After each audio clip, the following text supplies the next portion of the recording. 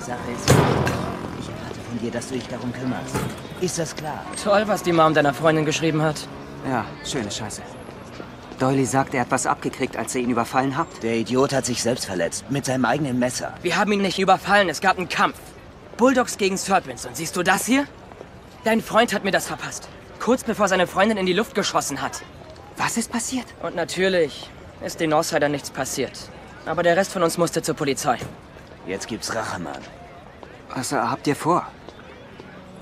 Was ist das? Etwa eine Rohrbombe? Fogertys Cousin war in der Army. Er wollte uns was bauen. Wir machen es nach Feierabend. Aber ich sag dir, das wird den River der Register ein für alle Mal stilllegen. Ihr glaubt, ein Gebäude in die Luft zu sprengen, macht die Dinge besser? Es kann nicht schlimmer werden. Doch, Sweet Pea, das kann es. Lass mich mit Archie reden, ich kläre das, okay? Mann, das ist deine Antwort auf alles. Reden, immer nur reden. Wir wissen nicht mal, auf welcher Seite du stehst.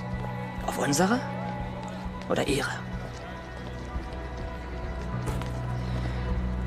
Du kannst kein halber Serpent sein.